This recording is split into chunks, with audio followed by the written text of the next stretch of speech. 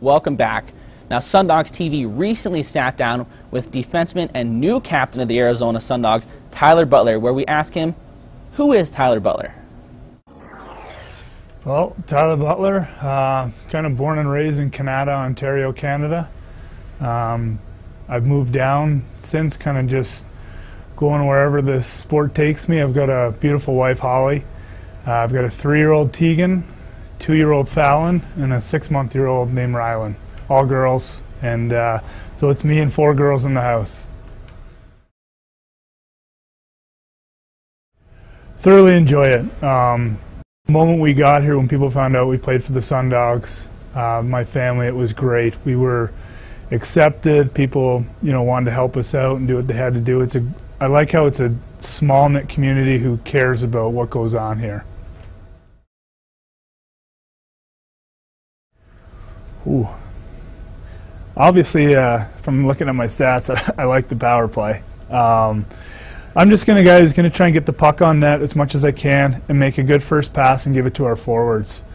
Um, I'm going to fight if I have to. Uh, if someone runs our goalie, someone takes a cheap shot, you know, I'm big enough. I'm not the greatest fighter in the world. I'll probably take a few licks, but uh, it just kind of shows the guys that, you know, he's a gamer, he's here to play. And yeah, I just try and, I'm going to compete every night.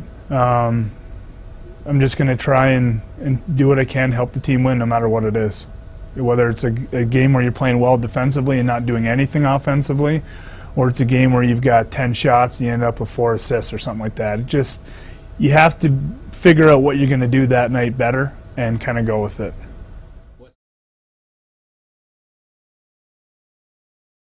Being a Sundogs captain is uh, obviously with there only being one before in, in Chris, it's it's big shoes to fill. Definitely, I think I learned a lot last year uh, with what not to do, and I'm really enjoying having Marco and, and Chris above me to kind of help me relegate the room when need be. But it's it's something you take seriously. Um, it's an honor to be a captain in any team. You look at captains from any NHL team; they've, they've done something right during their career. So it's definitely something special to take into account.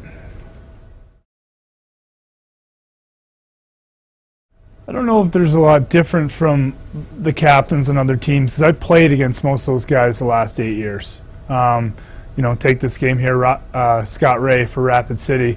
I played with him for four of my seven years. Uh, we're both from the same area. We're both cut from the same cloth. We both like to go out and just work our butts off and and kind of lead by example. If you have to fight, you have to fight. Uh, if you have to step up and scold somebody in the room, it needs to be done. You, you just have to put yourself in, in a position where guys respect you with what you do on the ice, and you're allowed to, you know, have a little talk with them in the room when need be.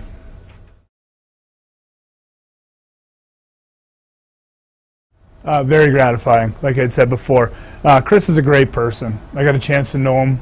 I came here in the summer in August played a few rounds of golf, and our philosophy for hockey is, is pretty much the same. Uh, we expect a lot out of ourselves and uh, expect a lot out of our teammates as well. So, with his name being up in the rafters, um, I'm not going to be Chris Bartoloni for sure. There's no chance I can be. I'm just going to be me, and uh, hopefully, that's what this team needs.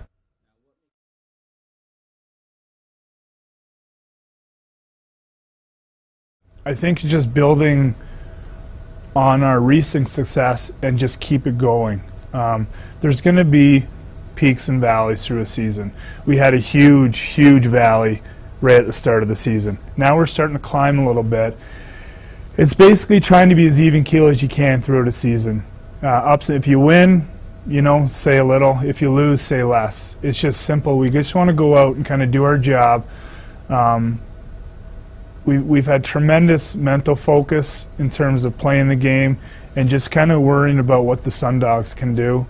Um, and I'm fortunate not just to be the only leader. We've got about five or six guys who can speak up and who go out and can lead by example, and who the young guys. We've got a lot of rookies. We got close to eight or ten, which for this league to have true rookies that many, it's kind of unheard of. But they're they're they listen well and they work their work their tails off, which is nice.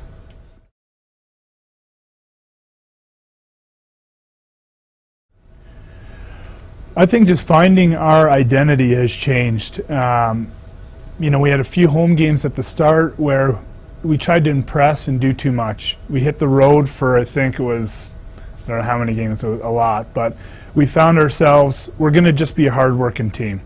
Um, there's not going to be tic-tac-toe plays that are going to happen every goal. It's just going to happen when it happens, but uh, we started to gel. We got some guys back from injuries. Like we went through a lot of injuries the first month of the season where teams do not go through all year, let alone in the first month. So, and it was veteran guys and guys who we were counting on to play key roles. So having those guys back and getting some fresh bodies and new faces in here has certainly helped the morale. We've got a great room. Um, it's a really cool bunch of guys who, you know, have fun with each other, uh, can zing each other every now and again, you know, have a couple laughs, but it's done. You know, it, it's a good laugh, and then we go out and we battle for each other every night, which is which is great.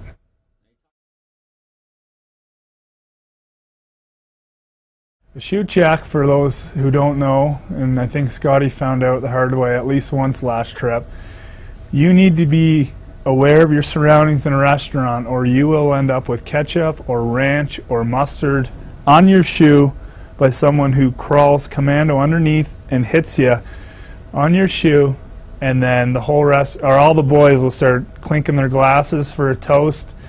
Everyone pushes back and there's the one poor guy with ranch or mustard or ketchup all over his shoe. Some guys take it well some guys don't. So if you don't take it well, you usually get hit again in the same road trip because they want to get you really going. So I'm too old to be going on the floor, so I just sit back and watch.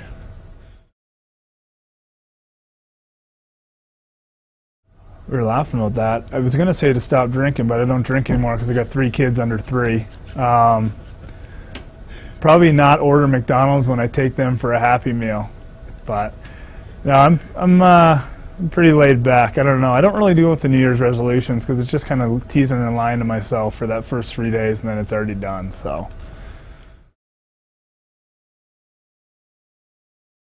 I'm not a very good golfer, but if you want to play for money, I'm more than happy to try. Um, I'm actually a uh, PGA of America professional as well. Uh, I got that pro card two years ago. Um, I enjoy golfing.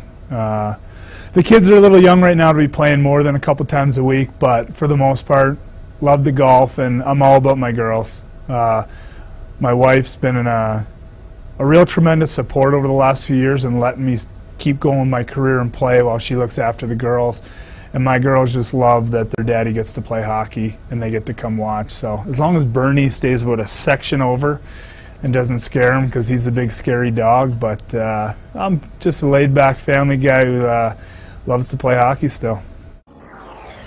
Tyler Butler really is making the captaincy his own after taking over for Chris Bartoloni, and he's doing a very good job of it.